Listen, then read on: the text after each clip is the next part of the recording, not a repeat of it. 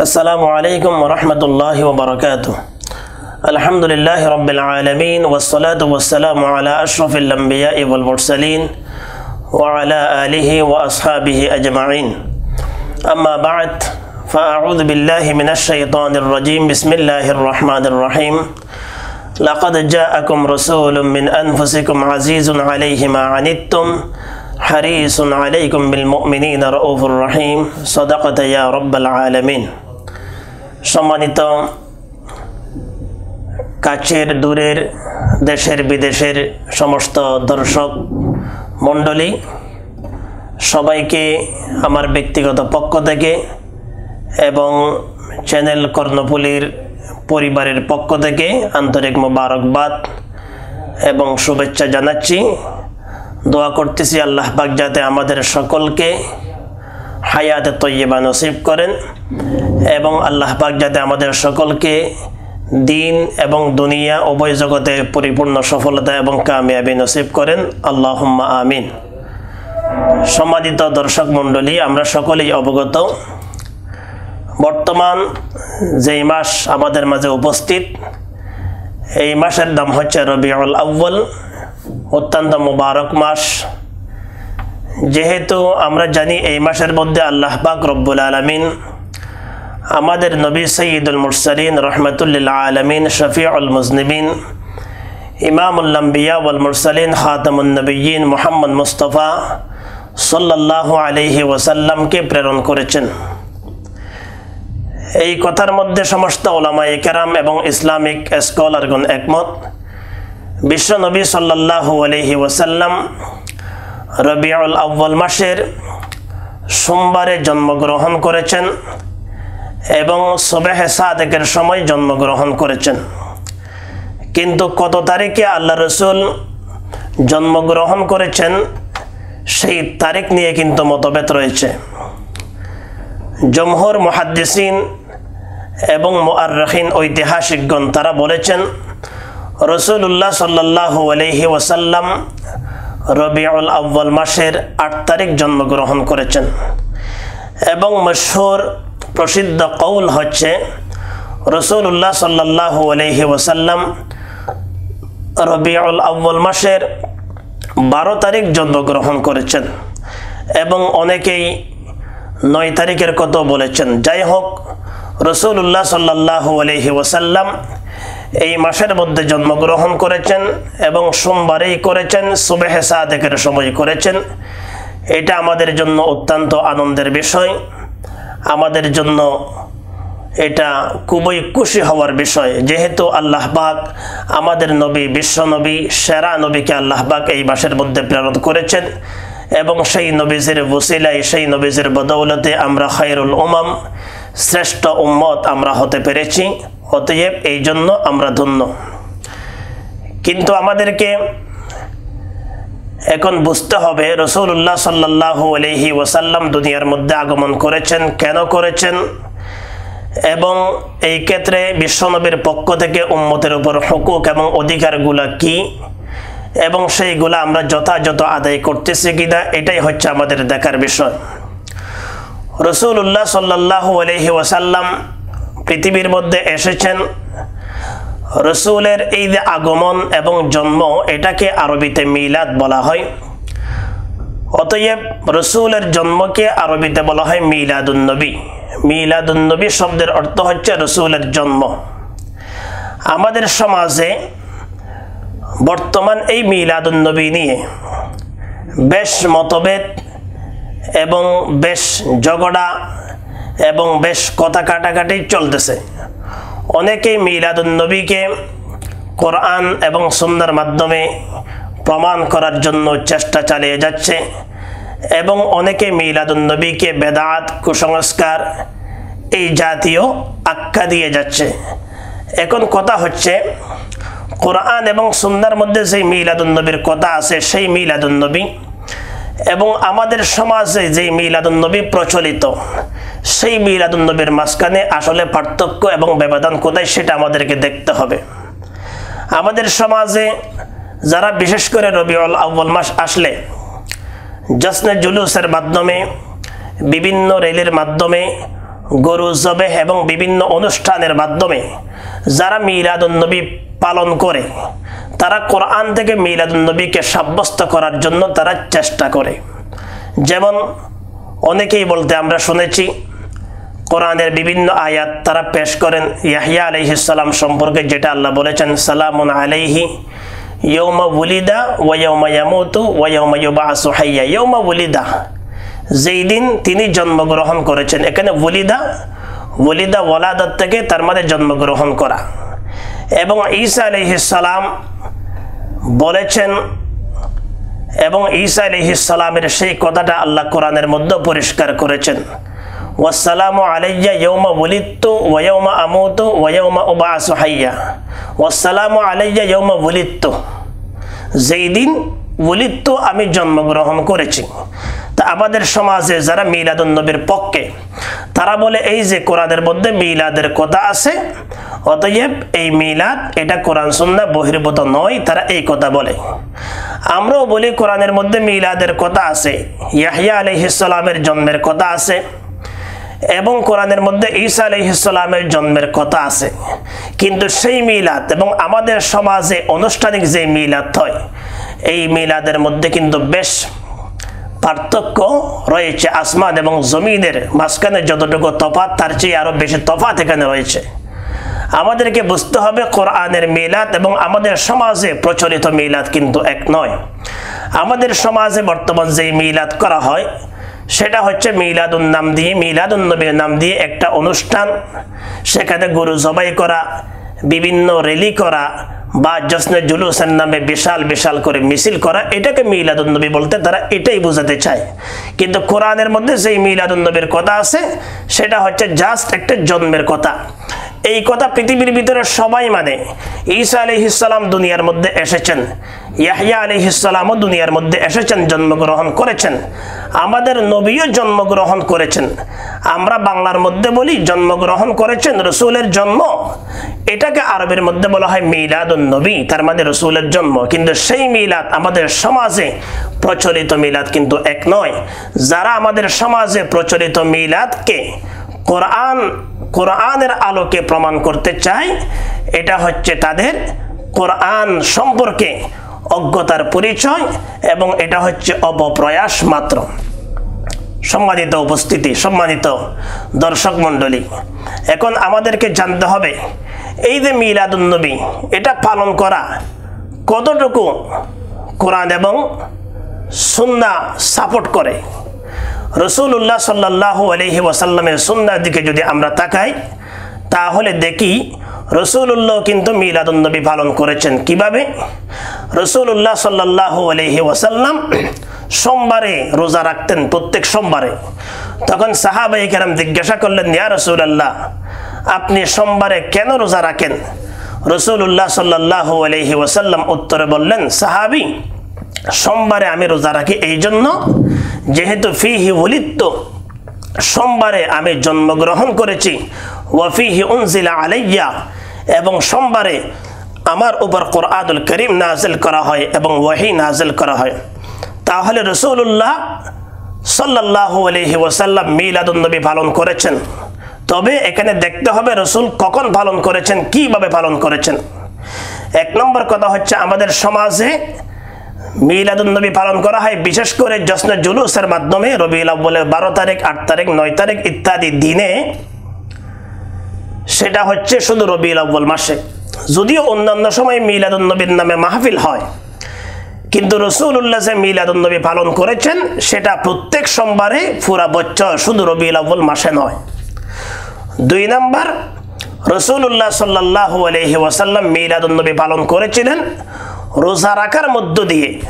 অতএব আমাদের উচিত হচ্ছে প্রত্যেক সোমবারে রোজা রাখার মধ্য দিয়ে মিলাদুন্নবী পালন করা। যদি প্রতি সোমবার রোজা রাখার মধ্য দিয়ে মিলাদুন্নবী পালন করি, তাহলে এটাই হবে সুন্নার সম্মত। কিন্তু দুঃখের বিষয়, আল্লাহ রসুল মিলাদুন্নবী পালন করেছেন রোজা রেখে না খেয়ে।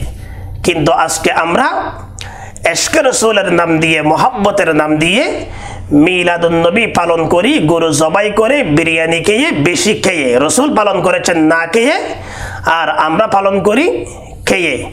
এটা হচ্ছে আমাদের এবং রসুল্লাহ সাল্লাহ আলহি ওসাল্লামের মাঝখানে তফাত মিলাদুন্নবী পালন করার ক্ষেত্রে। অদেব সম্মানিত দর্শক মণ্ডলী, এবার বুঝতে হবে রসুল্লাহ সাল্লাহ আলহি ওসাল্লাম এই পৃথিবীর মধ্যে আগমন করেছেন উম্মতের প্রতি রসুল্লাহ সাল্লাহ আলহি ওয়াসাল্লামের কি কি অধিকার? রসুলের কি কি হক আদায় করলে একজন উম্মত আশেকে রসুল হতে পারবে? রসুলকে মহাব্বতকারী এবং রসুলের ভালোবাসার পাত্র হতে পারবে সেটা আমাদের বোঝার বিষয় এবং দেখার বিষয়। কোরআন সুন্নার আলোকে এই কথা পরিষ্কার। উম্মতে মোহাম্মদের উপর রসুল্লাহ সাল্লাহ আলহি ওয়াসাল্লামের পক্ষ থেকে বড় বড় পাঁচটি হুকুক এবং অধিকার রয়েছে। একজন ব্যক্তি সত্যিকার যদি রসুলের উম্মত হতে চায়, সত্যিকার যদি একজন ইমানদার হতে চায়, দুনিয়া এবং পরকালে যদি সফল কাম হতে চায়, তাহলে তাকে অবশ্যই রসুল্লাহর প্রতি পাঁচটা হক এবং অধিকার যথাযথভাবে আদায় করতে হবে। এক নাম্বার আল ইমান বিহি। রসুল্লাহ সাল্লাহ আলহি ওয়াসাল্লামের উপর ইমান গ্রহণ করতে হবে। অতএব বর্তমান বিশ্বের আমাদের নবী আগমন করার পরে কোনো ইহুদি খ্রিস্টান যদি মূসা এবং ঈসা আলহিসাল্লামকে নবী হিসেবে মানে তৌরাত এবং ইঞ্জিলের উপর যদি তারা আমলও করে, তারপরেও কিন্তু তারা সফল কাম হতে পারবে না।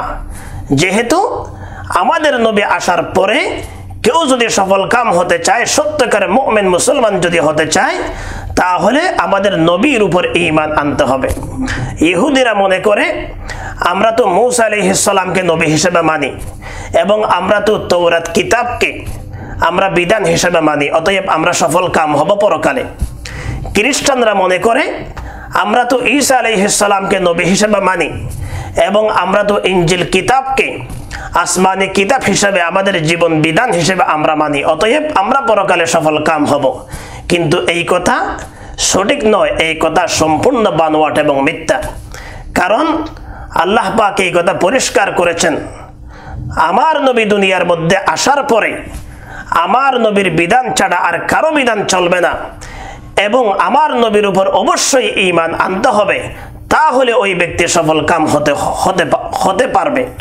শুধু তাই নয় কোরআনের মধ্যে আল্লাহ এই কথা পরিষ্কার করেছেন, হে ইহুদি এবং খ্রিস্টান, তোমরা নয়, তোমাদের নবী মৌসা ইসো যদি বাঁচি থাকে, তাহলে তারও যদি সফল কাম হতে চায়, তাহলে অবশ্যই আমার নবী মোহাম্মদ সাল্লাহ আলহি ওয়াসাল্লামের উপর অবশ্যই তাদেরকে ইমান আনতে হবে। আল্লাহ পাক সমস্ত নবীদের থেকে এটা প্রতিশ্রুতি গ্রহণ করেছেন। আল্লাহ বলেন, ওয়াইদ আহাজ আল্লাহ মিসাকান নবীন লামা আতাইতুকুম মিন কিতাবে ওয়া হিকমা।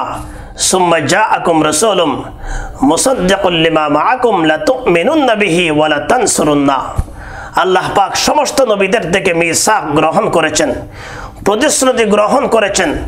আল্লাহ বলেন, হে আদমস, সফিউল্লাহ থেকে ঈসা রহুল্লাহ পর্যন্ত সমস্ত নবীগণ, আমি যদি তোমাদেরকে কিতাব দান করি এবং হেকমত দান করি নবুয়তের সাল সব দান করি, কিন্তু তোমাদের দুনিয়ার মধ্যে থাকা অবস্থায় আমার নবীর যদি আগমন ঘটে, আমার নবী যদি আসে, তাহলে আমার নবী মোহাম্মদ সাল্লাহু আলহি ওয়াসাল্লামের উপর লাতুমিনুন্নাবিহি অবশ্যই অবশ্যই তোমরা ইমান গ্রহণ করবে। ওয়ালা তানসুরুন্না, এবং তাকে তোমরা সর্বক্ষেত্রে সহযোগিতা করবে, তোমরা তার তাবে এবং অনুসারী হয়ে যাবে।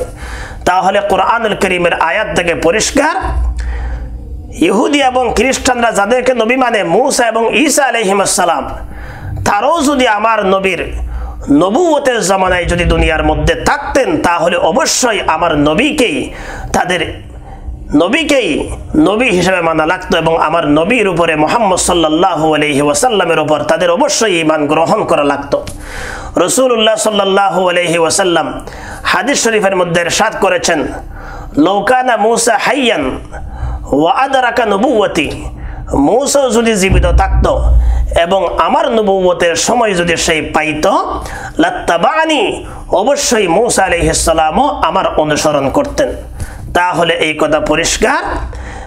আমাদের নবী দুনিয়ার মধ্যে আসার পরে কোনো উম্মত, কোনো মানব যদি পরকালে সফল কাম হতে চায়, তাহলে এক নম্বর হক আদায় করতে হবে, সেটা হচ্ছে রসুল্লাহ সাল্লাহু আলহি ওসাল্লামের উপর। পরিপূর্ণ ইমান গ্রহণ করতে হবে। এবং রসুল্লাহ সাল্লাহু আলহি ওসাল্লামের উপর যত কিছু নাজিল করা হয়েছে, আল্লাহ রসুল যত বিধান নিয়ে এসেছেন, সব কিছুকে বিশ্বাস করতে হবে। কারণ ইমান বলা হয়, রসুলের উপর ইমান মানি হচ্ছে তসদিক জমিআই মা জা আবিহীন নবী সাল্লাহ আলহি ওয়াসাল্লাম। আল্লাহ রসুল যত কিছু নিয়ে এসেছেন, এই সব কিছুকে বিশ্বাস করার নাম হচ্ছে ইমান কেউ যদি কিছু বিশ্বাস করে আর যদি কিছু বিশ্বাস না করে, তাহলে পরিষ্কার ওই ব্যক্তি মোরতাদ এবং কাফের হয়ে যাবে। আল্লাহ রসুলের উপর যত বিধান নাজিল হয়েছে, একজন ব্যক্তি যদি ইমানদার হতে চায় সব কিছুর উপর ইমান আনতে হবে। সব কিছুর উপর অবশ্যই তাকে বিশ্বাস গ্রহণ করতে হবে। তাহলে আমাদের এক নম্বর রসুল্লাহ সাল্লাহ আলহি ওয়াসাল্লামের পক্ষ থেকে হক এবং অধিকার হচ্ছে আল ইমান বিহি। রসুল্লাহ সাল্লাহ আলহি ওয়াসাল্লামের উপর পরিপূর্ণ ইমান গ্রহণ করা।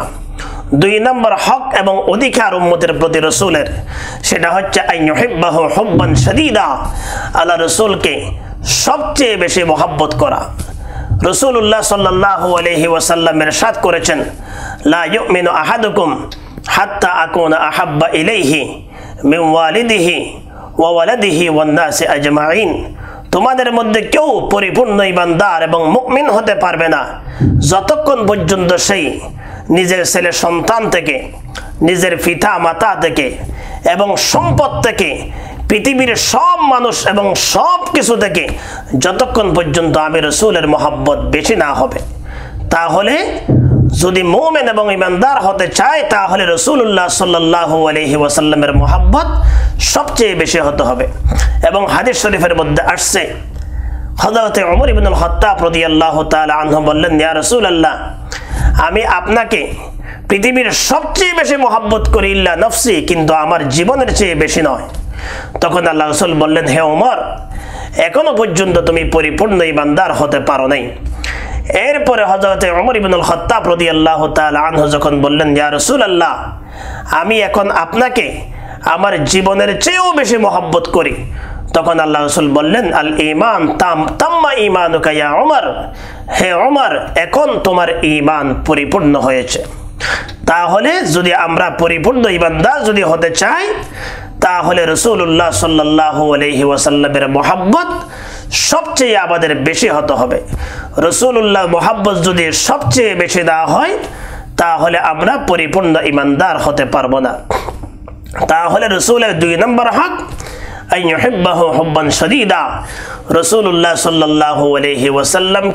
সবচেয়ে বেশি করতে হবে। তিন নম্বর, রসুলের পক্ষ থেকে উম্মদের উপর হক ফি জমিউল মাসাইল। একজন মানুষের দুনিয়ার যত সমস্যা হতে পারে ব্যক্তিগত জীবন থেকে শুরু করে আন্তর্জাতিক জীবন পর্যন্ত, প্রতিটি স্তরে রসুল্লাহ সাল্লাহ আলহি ওয়াসাল্লামের এত্তেবা করতে হবে রসুল্লাহ অনুসরণ, অনুকরণ করতে হবে।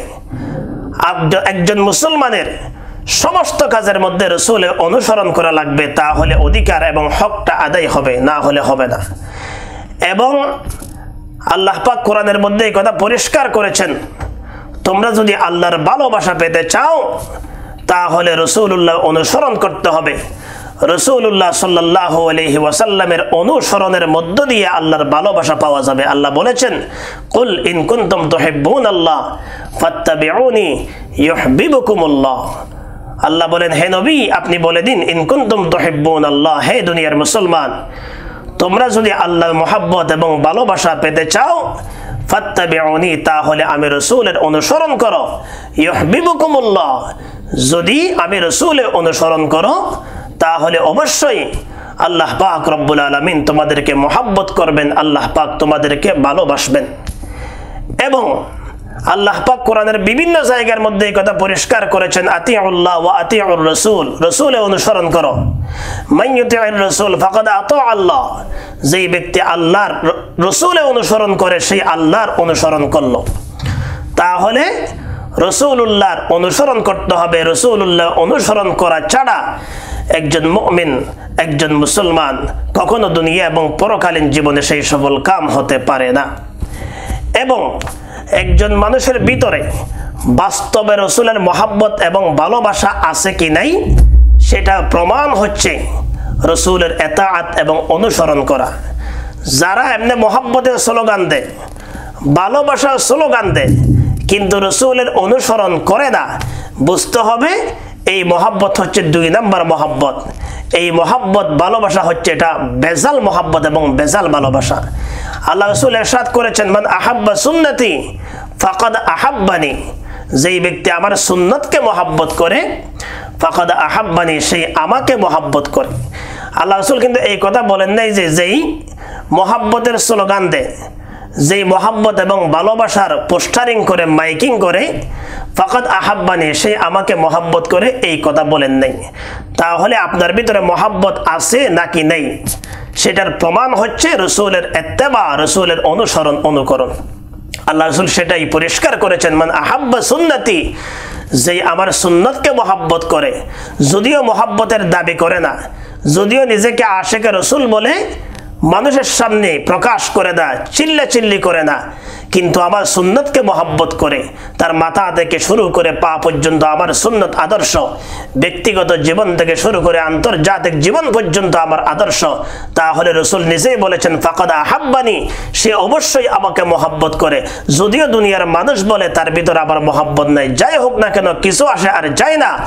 রসুল বলে, আমার সুন্নতকে যেই ভালোবাসে, আমার সুন্নতের যেই অনুসরণ করে, সে অবশ্যই আমাকে মহাব্বত করে, ভালোবাসে। ওমান আহাব্বানি কানা মাইফিল জান্না এবং যেই ব্যক্তি আমার সুন্নতকে অনুসরণ করার মধ্য দিয়ে আমাকে মহাব্বত করে, সেই আমার সাথে জান্নাতের মধ্যে থাকবেন সুবাহান আল্লাহ সম্মানিত দর্শক মণ্ডলী, অতএব আমাদের অবশ্যই রসুল্লাহ অনুসরণ, অনুকরণ করতে হবে।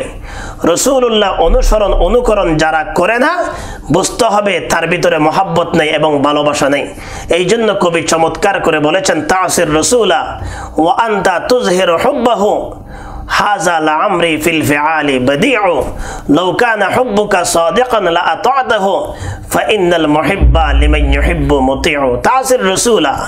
তুমি রসুলের নাফারমাদি করো। তোমার মাথা থেকে পা পর্যন্ত রসুলের আদর্শ নাই। তোমার ঘরে, সমাজে, পরিবারে, রাষ্ট্রে, তোমার সামাজিক জীবন, তোমার রাজনৈতিক জীবন, তোমার ব্যবসায়িক জীবন, কোথাও রসুলের আদর্শ নাই। অথচ আন্তা তুজহের হব্বাহ। তুমি রসুলের মহাব্বত প্রকাশ করো।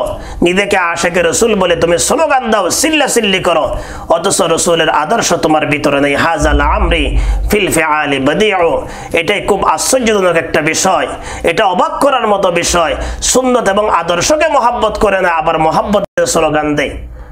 নৌকানা হব্বকা সাদেকান আতাহু তোমার মহাব্বত যদি সত্য মহাব্বত হতো, তাহলে অবশ্যই তুমি রসুলের অনুসরণ করতে। ফাইনাল মহিব্বা লিমাই ইউহিব্বু মুতিউ। কারণ যেই ব্যক্তি, যেই যারা মহাব্বত করে, সে অবশ্যই তার অনুসরণ করে। অতএব অনুসরণ, অনুকরণ করা, এটাই হচ্ছে মহাব্বত এবং ভালোবাসার একমাত্র মাপকাঠি। অতএব আমরা যদি দুনিয়া এবং পরকালে সফল কাম হতে চাই, বাস্তব যদি আশেকে রসুল হতে চাই, তাহলে রসুলের অনুসরণ করা লাগবে। রসুল্লাহ সাল্লাহ আলহি ওয়াসাল্লাম আরেক হাদিস শরীফের মধ্যে এরশাদ করেছেন, কুল্লু উম্মতি ইয়াদখুলুনাল জান্নাহ ইল্লা মান আবা। কিলা, ওয়া আবা ইয়া রাসূলুল্লাহ? ক্বালা মান আতাআনি দাখালাল জান্নাহ ওয়া মান আসানি ফাকাদ আবা। আল্লাহ রাসূল এরশাদ করেছেন, আমার সমস্ত উম্মত জান্নাতে যাবে ইল্লা। মান আবা, কিন্তু যারা অস্বীকার করবে, তারা জান্নাতে যাবে না। তখন সাহাবি জিজ্ঞাসা করলেন, মান আবা ইয়া রসুল্লাহ ওগো আল্লাহ নবী আবার অস্বীকারীকে কে অস্বীকার করল? তখন আল্লাহ রসুল বললেন, মান আত আনি দাখল আল জান্না যেই ব্যক্তি আমার অনুসরণ করল দাখল আল জান্না সেই জান্নাতে প্রবেশ করবে। ওমান আসনি ফাকাদ আবা, যে আমার নাফারমানি করল, আমার আদর্শ গ্রহণ করল না, ফাকাদ আবা সেই অস্বীকার করল, অতএব সেই জান্নাতে যাবে না, সেই হবে জাহান্নামী। অতএব সম্মানিত দর্শক মণ্ডলী রসুল্লাহ সাল্লাহ আলহি ওয়াসাল্লামের পক্ষ থেকে উম্মতের উপর তিন নম্বরের হক হচ্ছে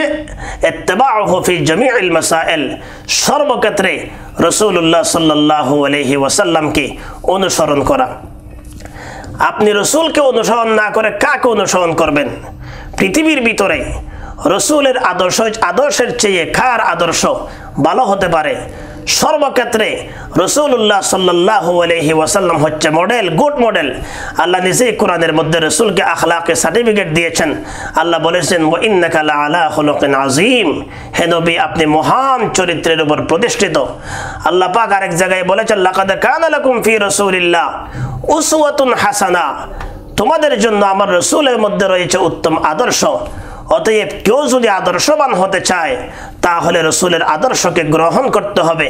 কেউ যদি চরিত্রবান যদি হতে চায় রসুল্লাহ সাল্লাহ আলহি ওসাল্লামের চরিত্রকে অবশ্যই গ্রহণ করতে হবে। অতএব রসুল্লাহ সাল্লাহ আলহি ওসাল্লামের আদর্শ গ্রহণ করা ছাড়া রসুল্লাহর অনুসরণ, অনুকরণ ছাড়া পৃথিবীর মধ্যে কেউ সফল কাম হতে পারবে না। দুঃখের বিষয় হচ্ছে, আজকে আমাদের সমাজে যারা নিজেদেরকে আশেকে রসুল বলে স্লোগান দেয়। নিজেদেরকে শুধুমাত্র আহলে সুন্না ওয়াল জামাতের সদস্য বলে যারা প্রকাশ করে, কিন্তু তাদের ব্যক্তিগত জীবন থেকে শুরু করে আন্তর্জাতিক জীবন পর্যন্ত রসুলের আদর্শ বলতে কিছু নাই। কাজ করে সব বেদাত, কিন্তু নাম দিছে সুন্নি।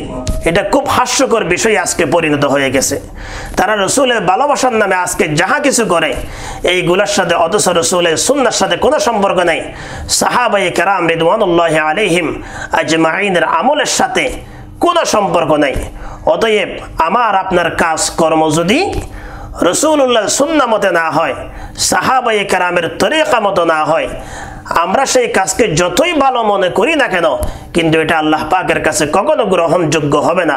এই জন্য আল্লাহ কোরআনে বলেছেন, কুল হাল নুনাব্বিউকুম বিল আখসারিনা আমালা আল্লাযীনা দাল্লা সা'য়ুহুম ফিল হায়াতিদ দুনিয়া ওয়া হুম ইয়াহসাবুনা আন্নাহুম ইউহসিনুনা যারা দুনিয়ার মধ্যে কাজ করত, কিন্তু কাজ করে মনে করত খুব ভালো কাজ করতেছে, অথচ কাজটা কোরআন সুন্না মতো না হওয়ার কারণে, নবীজির আদর্শ মতে তরিকা মতো না হওয়ার কারণে তারা পরকালীন জীবনে সবচেয়ে বেশি ক্ষতিগ্রস্ত হবে। রসুল্লাহ সাল্লাহ আলহি ওয়াসাল্লাম হাদিস শরীফের মধ্যে সাত করেছেন, ইন্না বনি ইসরাইলা তাফাররাকাত আলা সিনতাইনি ওয়া সাবঈনা মিল্লা ওয়া সাতাফতারিকু উম্মতি আলা সালাসিন ওয়া সাবঈনা আল্লাহ রাসূল ইরশাদ করেছেন, বনি ইসরাইল তারা বাহাত্তর ফেরকায় বিভক্ত ছিল।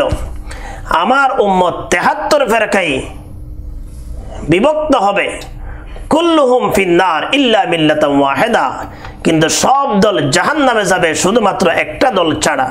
তখন সাহাবাই কারাম জিজ্ঞাসা করলেন, মান হুম ইয়া রসুল আল্লাহ ওগো আল্লাহ নবী যেই একটা দল মাত্র জান্নাতে যাবে, তারা কারা?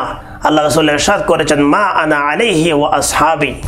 যেই উম্মত আমি এবং আমার সাহাবাই কারামের তরিকা এবং আদর্শের উপর থাকবে তারাই হবে একমাত্র ফেরকায়ে নাজিয়া, জাহান্নাম থেকে মুক্তিপ্রাপ্ত দল।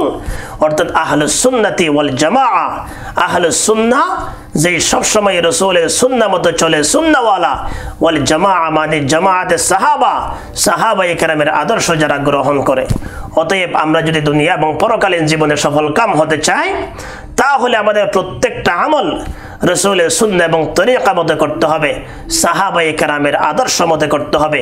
আজকে আমাদের সমাজে রবিউল আব্বাল মাস আসলে জশ্নের জুলুস থেকে শুরু করে এই সমস্ত জন্মের বিভিন্ন রেলি যাহা করা হয়। অথচ সাহাবাই কারাম কখনো এই সমস্ত কাজ করেন নেই। অথচ এই কথা পরিষ্কার। পৃথিবীর সব মানুষ যদি দাবি করে আমাদের মহাব্বত বেশি আছে, কিন্তু একজন সাহাবের মহাব্বতও তাদের মহাব্বত সমান হবে না। একজন সাহাবের মহাব্বত সব সব মানুষের মহাব্বতের থেকে বেশি ছিল এবং যেটা সাহাবাই কেরাম প্রমাণ করে দিয়েছেন।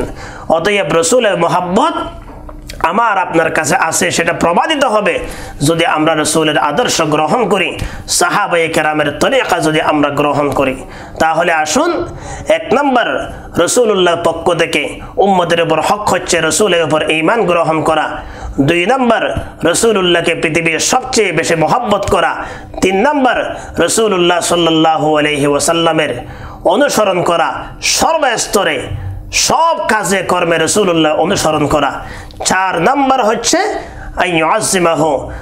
ওয়ুকরিমাহ রসুল্লাহ সাল্লাহ আলহি ওসাল্লামকে তাজিম করা, তকরিম করা রসুল্লাহকে সবচেয়ে বেশি আজমত করতে হবে রসুল্লাহ সাল্লাহ আলহি ওয়াসাল্লামকে। সবচেয়ে বেশি সম্মান করতে হবে, যে এরকম সাহাবাই একরাম করেছেন। আল্লাহ কোরআনের মধ্যে সুরাতুল হজরাত নাজল করে রসুলের সম্মান তাজিম কীভাবে করতে হয় সেটা বুঝিয়েছেন। রসুল্লাহ সাল্লাহ আলহি ওয়াসাল্লামকে কীভাবে ডাকবেন?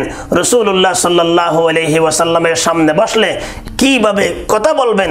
এই সব কিছু আল্লাহ শিক্ষা দিয়েছেন। এবং সামান্য যেখানে রসুল্লাহর আজমদের একটু খেলাফ হয়েছে, সেখানে আল্লাহ পাক কোরআনুল করিমের আয়াত নাজল করে সাথে সাথে তাদেরকে সতর্ক করে দিয়েছেন। লা তুকদ্দিমু বাইনা ইয়াদাই ইল্লা ওয়া রাসূলিহি ওয়াত্তাকুল্লাহ। ইন্নাল্লাহা সামিউন আলিম। ইয়া আইয়ুহাল্লাযীনা আমানু লা তারফাউ আসওয়াতাকুম ফাওকা সাওতিন নবী ওয়া লা তাজহারু লাহু বিল কওল কাজাহরি বা'দিকুম লিবা'দিন আন তাহবাতা আমালুকুম ওয়া আনতুম লা তাশউরুন। এখন তো রসুল্লাহ সাল্লাহ আলহি ওয়াসাল্লাম নাই, আমরা তাজিম কীভাবে করব। আমাদের সমাজে অনেকেই আছে রসুলের তাজিমের নাম দিয়ে তারা দাঁড়িয়ে যায়। মনে করে দাঁড়িয়ে রসুলকে সালাম করা, এটাই হচ্ছে রসুলের তাজিম। আমি দাঁড়িয়ে সালাম করাকে তাজিম মনে করলে কিন্তু তাজিম হবে না। এটাকে শরীয়ত তাজিম বলতেছে কিনা? আল্লাহ এটাকে তাজিম বলে কিনা? রসুল এবং সাহাবি এটাকে তাজিম বলে কিনা? সেটা আমাদেরকে দেখতে হবে। রসুল্লাহ সাল্লাহ আলহি তাজিম মানে কি? রসুল্লাহ সাল্লাহ আলহি ওয়াসাল্লাম যাহা কিছু রেখে গেছেন, রসুলের আদর্শ, রসুলের সুন্না এইগুলাকে নিজের জীবনের চেয়েও জীবনের চেয়েও বেশি আজমত করতে হবে, মোহাব্বত করতে হবে, তাজিম করতে হবে। অর্থাৎ রসুল্লাহ সাল্লাহ আলহি ওসাল্লামের শানে কেউ গুস্তাখি করলে তা প্রতিবাদ করতে হবে। রসুল্লাহ সাল্লাহ আলহি ওসাল্লামের প্রত্যেকটা সুন্নতকে তামাম পৃথিবীর চেয়ে বেশি সম্মান করতে হবে, দাম দিতে হবে, মূল্যায়ন করতে হবে, সুন্নার উপর আমল করতে হবে। এটাই হচ্ছে রসুলকে তাজিম করা। এবং রসুলকে তাজিম করা মানে রসুলের সাহাবাই কেরামকে তাজিম করা, আজওয়াজ মোতাহারাতকে তাজিম করা, আহলে বাইতকে তাজিম করা, রসুলের সাথে যত কিছু সম্পৃক্ত সব কিছুকে মহাব্বত করা, যথাযথ সম্মান করা, বিশেষ করে রসুল্লাহ সুন্না মতে আমল করা, সুন্নতকে তাজিম করা, অসম্মান হতে না দেওয়া রসুল্লাহর আজমতের তরিকার সুন্নার আসহাব রসুলের আহলে বাইতের আজওয়াজ মোতাহারাতের যদি কেউ অসম্মান করে, সাথে সাথে সাথে সাথে জান মাল সব কিছু কোরবান করে রসুল্লাহর এবং সংশ্লিষ্ট সব বিষয়ের ইজ্জতের পক্ষে কথা বলা, প্রয়োজনে রক্ত দেওয়া, কোরবান করে দেওয়া সব কিছু এটাই হচ্ছে রসুলের আজমত, এটাই হচ্ছে রসুলকে তাজিম করে, তকরিম করা। পাঁচ নম্বরে উম্মতের প্রতি রসুল্লাহ হক এবং অধিকার হচ্ছে আইয়ানসরা দিনাহ রসুল্লাহ সাল্লাহ আলহি ওয়াসাল্লামের দিনকে সাহায্য করা, সহযোগিতা করা, রসুলের দিনকে দুনিয়ার মধ্যে টিকিয়ে রাখার জন্যে যদি মাল দিতে হয়, মাল দেওয়া, যদি জান দিতে হয়, তাহলে জান দেওয়া। যেরকম সাহাবাই কারাম করেছেন হজরত আবু বকর সিদ্দিক রদি আল্লাহ তাল আনহম বলেছেন আয়ান কসুদ্দিন ওয়ানা হাইয়ুন? আমি আবু বকর জীবিত থাকা অবস্থার মধ্যে দিনের সামান্য ক্ষতি হবে, এটা আমি আবু বকর কখনো বরদাস্ত করতে পারি না। অতএব একজন বাস্তব যিনি উম্মত, বাস্তব যিনি ইমানদার, বাস্তব যিনি আশেক রসুল, তিনি জান মাল সব কিছু কোরবান করে হলো রসুলের দিনকে, রসুলের সুন্নাকে সেই সমুন্নত রাখবে সব সময় এটাই হচ্ছে রসুলের দিনকে সাহায্য, সহযোগিতা করা। যেই দিনের জন্য আল্লাহ রসুল দন্দন মোবারক শহীদ করেছেন, রক্ত দিয়েছেন সাহাবাই কারাম অসংখ্য সাহাবি শাহাদত বরণ করেছেন, সেই দিনকে সাহায্য করতে হবে। দিনের জন্য সাহায্য করতে হবে। দিনের দিনকে রক্ষা করার জন্য, পরিবারের সমাজে রাষ্ট্রে দিনকে প্রতিষ্ঠা করার জন্য যদি সময়ের দরকার হয়, সময় দিতে হবে। যদি মালের দরকার হয়, মাল দিতে হবে। যদি জানের দরকার হয়, তাহলে জানও দিতে হবে। এই সব হকুক যদি আমরা আদায় করি, তাহলে এই কথা প্রমাণিত। আমরা বাস্তবে আশেক রসুল, আমরা বাস্তবে রসুলকে মোহাম্মত করি এবং আমরা বাস্তব ইমানদার, বাস্তব মুসলমান। এই জন্য আসুন সম্মানিত দর্শক মণ্ডলী, এই কথা কিন্তু পরিষ্কার। রসুলের মোহাব্বত ছাড়া ইমানদার হওয়া যাবে না। রসুলের মোহাব্বত আমাদের ভিতরে আছে নাকি নেই, সেটা বোঝা যাবে যদি আমরা রসুলের হকুকাতগুলো আদায় করি। রসুলের হকুকাতের মধ্যে হতে এক নম্বর হকুক হচ্ছে আল ইমানবিহি রসুলের উপর। এবং রসুল যাহা নিয়ে এসেছেন সব কিছুর উপর ইমান গ্রহণ করা সব কিছুকে বিশ্বাস করা। হ্যাঁ দুই নম্বরে রসুল্লাহ সাল্লাহ আলহি ওসাল্লামকে পৃথিবীর সবচেয়ে বেশি মহাব্বত করা। তিন নম্বরে সর্বক্ষেত্রে ক্ষেত্রে রসুল্লাহ অনুসরণ, অনুকরণ করা। চার নম্বর রসুল্লাহকে এবং রসুল্লাহর সাথে সংশ্লিষ্ট যত বিষয় আছে সব কিছুকে তাজিম করা, তাকরিম করা, ইজ্জত করা, সম্মান করা। পাঁচ নম্বর রসুল্লাহ দিনকে সব কিছু দিয়ে সাহায্য, সহযোগিতা করা। এই পাঁচটা হকুক আজ যদি আমরা আদায় করতে পারি, তাহলে এটাই হবে রসুলের প্রতি আমাদের ভালোবাসা এবং এশকে রসুলের বহিঃপ্রকাশ, হব্বে রসুলের বহিঃপ্রকাশ। আল্লাহ পাক আমাদের সকলকে হকুকাতগুলো যথাযথ আদায় করে বাস্তব আশেক রসুল হওয়ার বাস্তব মোমেন মুসলমান হওয়ার তৌফিক নসিব করুন আমিন ওমা আলাইনা ইল্লাল বালাগুল মুবিন আসসালামু আলাইকুম ওরহমতুল্লাহি ওবরাকাতুহ